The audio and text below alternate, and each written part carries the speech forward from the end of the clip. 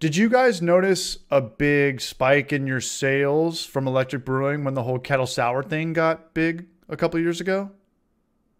Um, well, I mean, we had we were just getting started then, so Oh, I didn't know that. it's yeah, it's impossible to tell. I mean, we started in maybe like 2017 or something. So, I mean, it. I guess I can't. I don't know. Like, when when would you have said the kettle sour thing was biking? 2018, yeah. 2017. That's when people were going from barrel aged sours to kettle sour, which is quick Yeah. sa- hack sour. Right. Yeah. So correct. Yeah. So we uh yeah we were just kind of getting started then. That that was in the early days where not many people even knew that we were, you know, a thing, as far as the brewing system goes. Which- So So when you guys were around, like, because I look at your channel and you have videos from 10 years ago, that wasn't for Clawhammer. That was to, that was for your still. Well, I mean, yeah. So Clawhammer sells distillation equipment and brewing equipment. So yeah, ten years ago we would have been making uh videos about uh b- building stills really. So what made you guys transition into uh, brew equipment seven years later? Well, we've always been into brewing, man. Like Emmett and I have always really primarily been into brewing. Um, I just kind of like fell backwards into distilling. Uh, and and then, you know, we decided to sell brewing equipment because Emmett had uh, found the plans for a system that was like very similar to the one we sell online now. Um, probably four years before we started selling ours and uh, he built a prototype. Like, dude, it was it was all plastic. It was built with the plastic aquarium pump, and um, it worked. You know, it just used a bag, which would sometimes scorch on the element. Um, it worked, but it was so like he brought it over to my house one day, and we brewed a beer in my kitchen. He brought the whole thing over, which like that's saying something right there. That you know how these systems are so portable, and um, we brewed a beer on it and it blew my mind, man. I was like, dude, this is so much nicer than brewing on three tier system and sparging. And I just was, I loved it. And, uh, you know, it, it, it had temp control so we could just dial the temps in.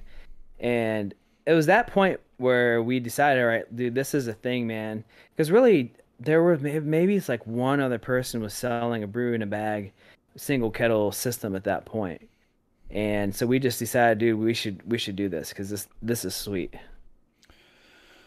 I like And- it. I like it a lot. Yeah. You guys made a crack at yourselves one time. It was a few videos ago talking about how it has to be Clawhammer for you and Emmett because in any other workforce, you guys are unemployable. But I know you guys were kidding. But if you weren't doing Clawhammer for a living, what would you be doing? Well, I mean, I did have a legit career job before I started this. I actually, um, before Clawhammer like really took off, about a year before it really took off, uh, I moved out to Boulder to take a consulting job in the, the residential energy field. Dude, I had a sweet. It was a sweet job, man. Paid really well. I had a, literally a corner office that looked up at the Flatiron Mountains in Boulder, like downtown Boulder. And I was at that job for a year before um, Clawhammer Supply, the distillation side, just went through the roof, and I had to quit. Yeah. I just went into work one day. I said, "Hey guys."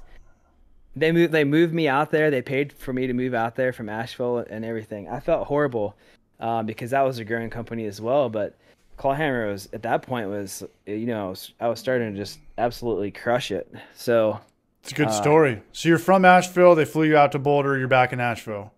yeah, back in I'm not from Asheville originally, but I was in yeah before I went out there I was in Asheville. I'm- No doubt. Because I remember when we first started texting and talking on the phone, I think you had a Boulder area code. And I was like, should I answer this? What's the hell Yeah, on? yep, yep. Still have it. Yeah, 305 or something? Yeah. yeah. 303. Yeah. 303. Um, well, yeah. I mean, do you have any regrets? I mean, I I know there's owner hours, and like we talked, some days we don't work, some days there's 12 hour days. You know, it's kind of nice to have the the steady paycheck. But do you have any? uh Could go back in times. No, dude. My only regret is that Good answer. I wasn't more aggressive earlier. Honestly, man, I should have just uh, went full send a long time ago, and probably could have grown this company. I mean, I don't know. I don't know. I could I this company could probably be like five times bigger than it is right now if I had just been more aggressive. It's fine though. I mean, honestly, you know, Emmett and I we're just we're we're we're kind of we're in this to have fun, man. We like brewing beer. We like watching other people brew beer. Uh, it's fun for us. It's like fulfilling. So maybe yeah, maybe no regrets. Maybe we just stick with it how it is. What about just firing everybody and living off the YouTube channel and just pushing merch and doing like Patreon and stuff, not to deal Dude, with paying man, for ten I mean, employees? I don't know how Too you do soon? it, man. My YouTube channel doesn't make enough. Uh, like we literally generate, we generate very little revenue off of the actual videos, and people are are um, trying to contact us. People contact us, you know, fairly regularly, trying to get us to do ads for things, and we we just say no because it's it's kind of dumb. Yeah. But I'll tell you what, man. With with you guys being in town, I actually, for the first time ever, reached out to a few people to um, try and line up a sponsor. I was trying to get uh, so there's a Don't say there are a few new air. Don't say now- new air. Don't say new air.